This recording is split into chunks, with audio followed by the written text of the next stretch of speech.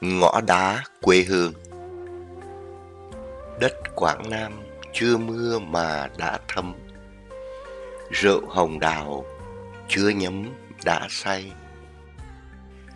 Có một làng quê ở lưng chừng vùng Sơn Cước Với những ngõ đá, hàng rào đá, giếng đá. Thậm chí là cả những ngôi nhà cổ bằng đá hàng trăm tuổi đã tạo nên nếp làng yên bình mà độc đáo.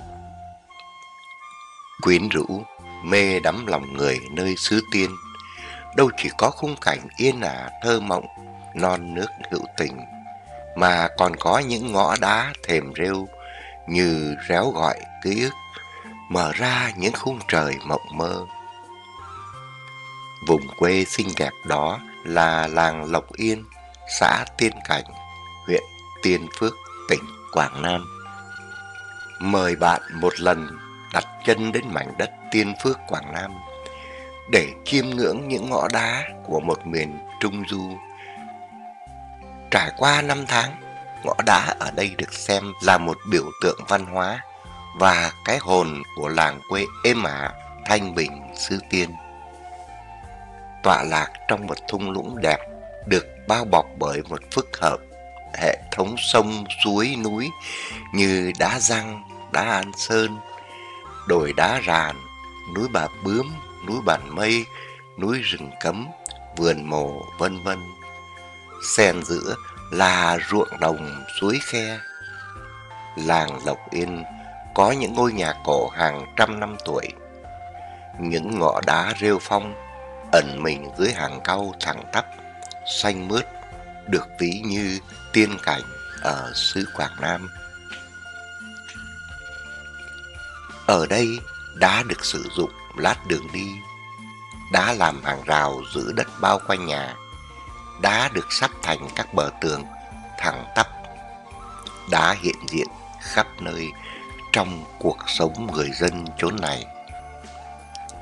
Những phiến đá, thớ đá của cái ngõ đá im lìm ngủ, vững trải qua năm tháng, nắng mưa dưới bóng quế, giữa hàng chè tàu tươi đậm, hay ngoằn ngoèo bên những vườn bòn bon thanh trà trĩu nặng quả mỗi khi mùa về. Thanh thản bước lên từng bậc đá rêu phong thẳng thớm, mát rượi như trải thảm dưới chân, để cảm nhận vỉa trầm tích văn hóa cội nguồn của người dân miền núi nơi đây và thôi thúc cho ta ý niệm cần bảo lưu những nét văn hóa ấy.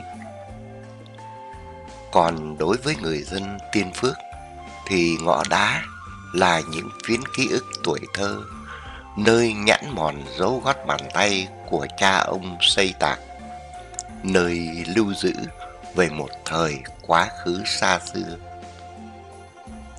Ngõ đá của xứ tiên mang đậm cốt cách, tâm hồn, thẩm mỹ của con người nơi này. Ngõ đá phảng phất nét cổ làm dáng, làm duyên thêm cho khuôn mặt của làng quê. Mặc dù bây giờ nơi đây không gian mỗi ngày một xích lại gần với kiến trúc hiện đại. Ngõ đá dắt ta lên những ngôi nhà cổ hay đưa ta vào những nếp nhà đơn sơ. Nơi đó ta sẽ gặp những con người hiếu khách, hiền hòa chân chất. Ngõ đá cũng gợi cho ta nhớ cái buổi bình minh trong lịch sử. Cha đi mở đất, mẹ mang sinh thành. Ngõ đá gọi ngược ta về thuở tổ tiên, đặt viên đá đầu tiên xây bậc cấp. Để đời sau nối tiếp đời sau, gót nay chồng lên gót trước. Này gót mẹ, gót cha, đây gót tình, gót nghĩa và ngõ đá rủ rê ta trở lại cái tuổi ngu ngơ của buổi hẹn hò xa khuất. Với người dân tiên phước, ngõ đá từ bao đời nay đã trở thành nỗi nhớ niềm yêu, sự tự hào của họ về quê hương xứ sở, dù vẫn còn đó cuộc sống nghèo khó lam lũ. Có duyên lấy đặng trồng nguồn, ngồi trên ngõ đá có buồn cũng vui. Phải chăng Đó chính là nguồn cảm hứng để người nghệ sĩ đất Quảng Nam Ánh Nguyệt viết lên những câu thơ nghe mát rượi tâm hồn. Ngõ đá thiên thu vẫn mãi còn, người đi người đến một lòng son. Quê hương đẹp tựa thiên thai ấy, sông nước xanh rờn với núi non. Qua dòng nhạc Dương Thượng Trúc, những vần thơ đầy ắp ân tình trong bài Ngõ đá quê hương của Ánh Nguyệt sẽ trở thành một khúc ca dao ngọt ngào nói về xứ tiên thơ mộng với tiếng hát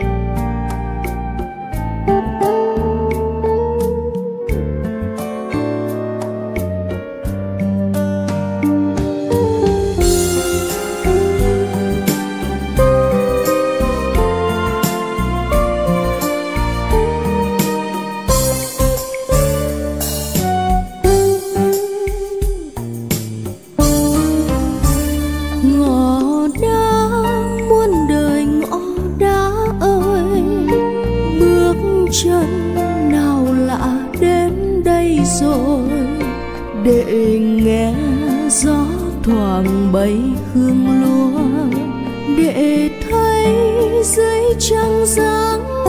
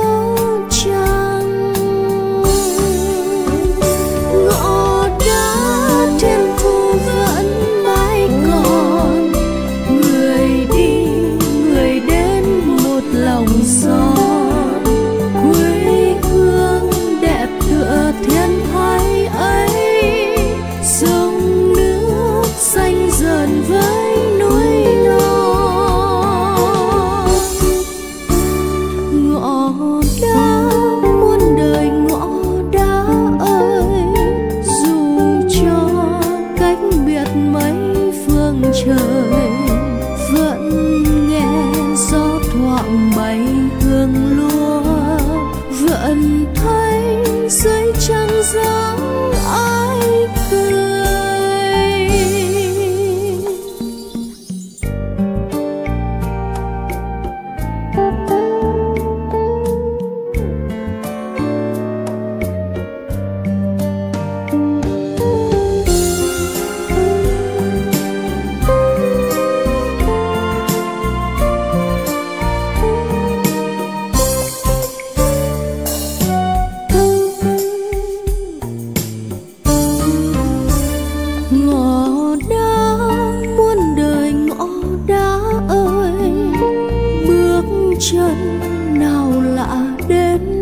rồi, để nghe gió thoảng bay hương lúa, để thấy dưới trăng dáng anh cười.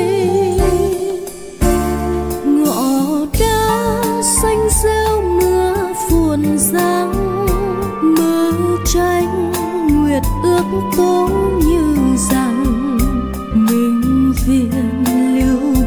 tình non